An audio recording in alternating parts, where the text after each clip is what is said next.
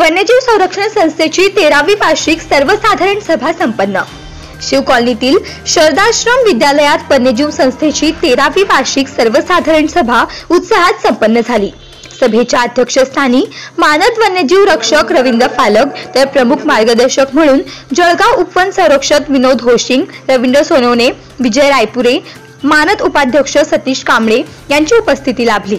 या सर्वसाधारण सभेत सर्पमित्रांकरिता ओळखपत्र मिळवण्यासाठी पाठपुरावा करणे तर खानदेशात शून्य सर्पदंश अभियान व्यापक स्तरावर राबविणे सर्पमित्र विमा संरक्षण मिळवण्यासाठी प्रयत्न करणे संशोधन व संरक्षण कार्य बळकट करणे तसेच एक ते सात ऑक्टोबर वन्यजीव सप्ताह दोन हजार एकवीस यावल जळगाव वनविभागासोबत साजरा करणे दरम्यान सेव सातपुडा जनजागृती रॅलीचे आयोजन करणे तसेच उत्तर महाराष्ट्र विद्यापीठात एरंडोल वनक्षेत्रात विकसित केलेल्या बांधाऱ्याची पिंचिंग आणि प्लेटेशनसाठी वनविभागास प्रस्ताव देणे या विषयावर चर्चा करून आदी महत्त्वाच्या ठरावांना सर्वानुमते मंजुरी देण्यात आली.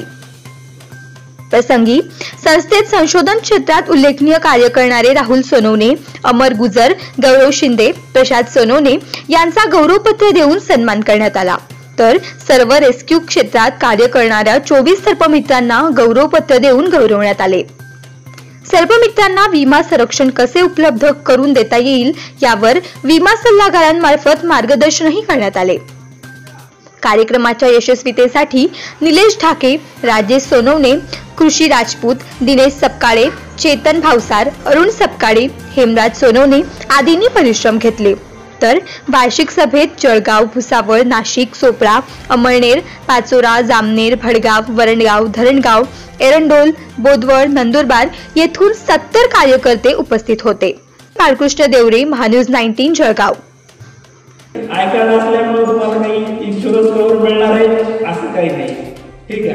दुसरं काय होणार आहे का? ह्यातून तुम्हाला काही सरकार मदत करणार आहे का? नाही करणार. एकदम क्लिअर कट गोष्ट आहे. म्हणजे आयकार मिळाल्यामुळं आपण दुसरं काही हे फक्त एकच आहे का आय की गोष्ट तुम्ही वन्यजीव संरक्षण कायद्यानुसार तुम्ही कोणताही अपराध करत नाही. ही गोष्ट तुमची क्लिअर होती. पण त्याचं ज्याचं माझं दुसरं आहे की बाबा ह्या ह्याच्यात सर्पदंशाच्या केस जळगावमध्ये भरपूर आहेत सर्पदंशाने मृत्यू होणाऱ्याच्या घटना सुद्धा खूप आहेत.